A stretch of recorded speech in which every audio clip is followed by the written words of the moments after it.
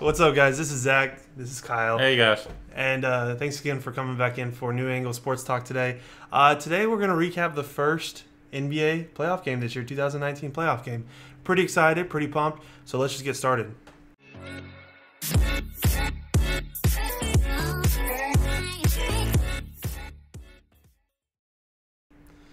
All right, guys. So we've got a pretty good showdown today. Let's let's start with you, Kyle. Um, go ahead and give us our thoughts from basically the beginning of the game. We're gonna play some highlights on the on the camera here.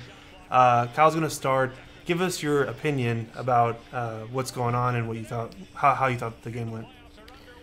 Um, well, I mean, obviously the game didn't go uh, in Philly's favor, you know, considering they lost. But you know, the first part of the game, it, it was it was back and forth. But Embiid for the first couple minutes was, you know, and you know, kind of enforcing himself on everybody. He got uh, Jarrett Allen in uh, foul trouble pretty quickly. He was playing good defense. I don't know if he played a single minute in the second half, so you're right. Yeah, I but I, I'll say for about the first between two and four minutes, I was like, all right, you know, Embiid's gonna be, you know, doing what he wants, and then he kept hitting the ground over and over, and I, I Yeah. think it started messing with his knee.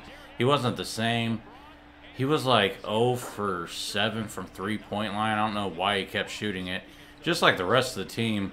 I mean, for about the first quarter and a half, Philly couldn't make a three, and then uh, Jimmy Butler obviously ended uh, the uh, second quarter with some uh, Hot note. Yeah. on a hot note, got Yeah. them within uh, seven points, and it was looking like maybe the Sixers could uh, come back. But overall, uh, the the defense for the Sixers, they were having a hard time on uh, people uh, slashing to the paint uh, on their uh, switch uh, pick and rolls and switching onto different people.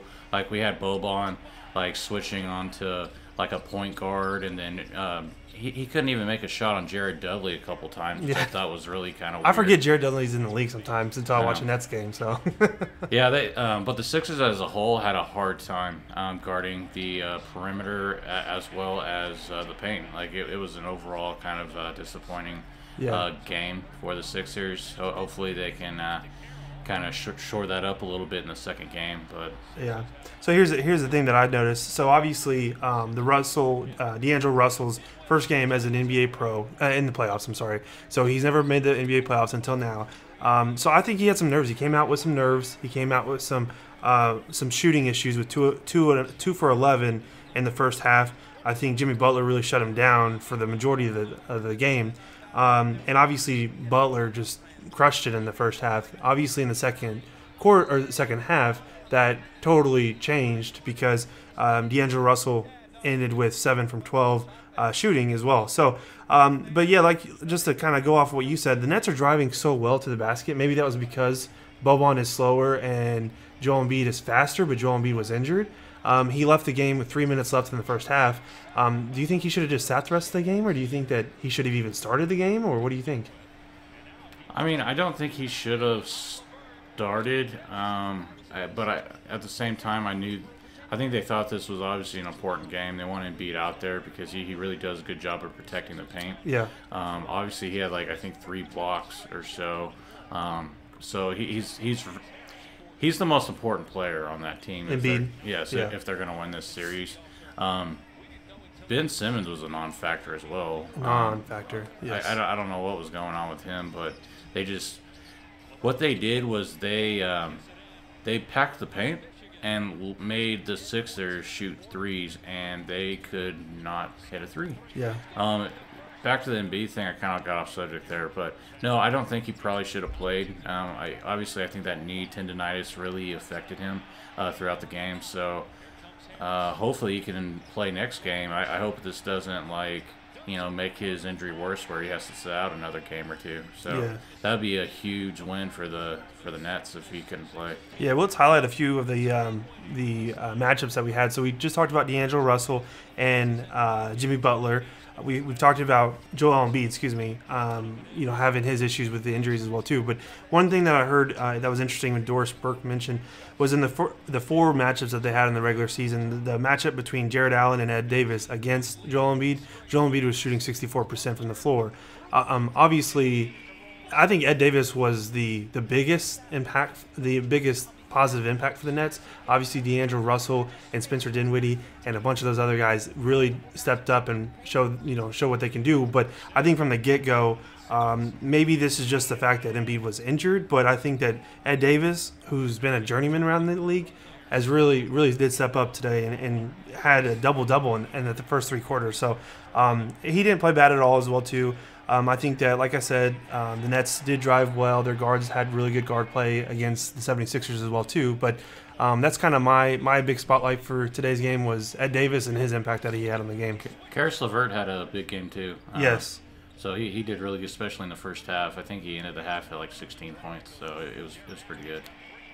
Right, I definitely agree. Now, um, now one thing that was actually kind of interesting whenever you went back and saw in the fourth quarter, um, I don't know if you saw this um, or not, but did you see the where Joel Embiid and Amir Johnson were on their cell phone during the middle of the game, uh, or not the middle of the game, but the fourth quarter? Oh, I did. I you didn't, didn't see. That? I didn't catch that. Okay, yeah. The, basically, within ten minutes left of the fourth, um, I was taking some more notes and stuff, and then they bring up that they were on their cell phone. Amir Johnson goes into the locker room. He gets called in there. He comes back onto the bench, but I'm like this whole team isn't they aren't zoned in they're not ready to play this playoff series um, you should have came prepared and the nets that's why i think the nets i picked them to have an upset this season this uh, this this playoff series and i think that they will is because they came unprepared d'angelo russell didn't have a good first half but he got it un, he got it taken care of in the second half and he crushed it he shot 7 for 12 um, the rest of the game. So well, I mean, if I was Jimmy Butler, for example, I, would be pissed off at, at those two. If, I mean, as you could tell, he was zoned in the whole game, and he was trying.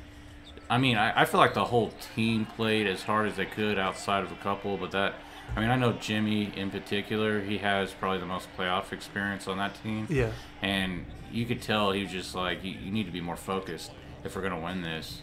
Um, maybe this was a wake up call for the Sixers. Um, hopefully. Um, who knows? It looks like it's going to be a pretty good series. Hopefully, uh, I mean, if they keep this up, though, I mean, hell, the Nets are Nets are going to sweep them. So, uh, but we'll I wouldn't go that far. We'll see what happens, but yeah, yeah.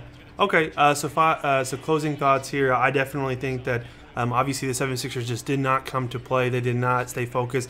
And you heard it all throughout the game. Net, uh, 76ers fans just booing their team because they had stupid mistakes. Mm-hmm. They weren't taking care of the ball. They weren't locked in on defense. Um, they were just driving to the basket, it seems like, on every play. Uh, the Nets, but you also have to give them credit as well, too. They had a game plan coming in. Um, they stayed with each other. They didn't put each other down. They stayed. Right you know they stayed uh, with the ship, so to speak. So, but specifically the last ten minutes of the game, you saw Spencer Dinwiddie when Spencer Din, Dinwiddie, excuse me, take over the uh, the playmaking. He he did that a lot during the game, but he slowed down the game for the first after the ten minute mark. The first five possessions that they had were slowed down within like ten seconds left of the shot right. clock. Um, and things like that. They got offensive rebounds. They just kept on going, even though they had a 15 point lead or lead or 12 point lead. Um, at that point, they just kept on going, and I thought that was a huge difference. I kept arguing with the TV today because they kept saying Spencer Dinwiddie, and I was like, "It's Spencer Dinwiddle." Dinwiddle. Yeah, I, I, thought it. I thought it was an L at the end every time. It's I Dinwiddie. Thought, yeah, I know. and, then, and then his name came up. I was like, "Oh, it is Dinwiddie." Oh, oh my, my bad, you guys. this whole time, I just feel that I just found out it was Dinwiddie today. Dinwiddie. Was, oh, yeah. dude, that guy can play. Yeah, he can play. Yeah. So uh, that was my thoughts. Kyle, you have any last thoughts? No, no, not at all. Not really. Okay, guys. So this is our recap. Nets and 76ers. Nets take game one. Big game. My bracket looks good right now. I've got them with an upset. So hopefully they can build on this and, and get another W on Monday. So uh, that was pretty much it, guys. We're going to have another video out tonight. Um, give us your comments. Give us your thoughts. Give us your opinions. Like, subscribe, the whole nine yards. And uh, we'll see you guys in a little bit.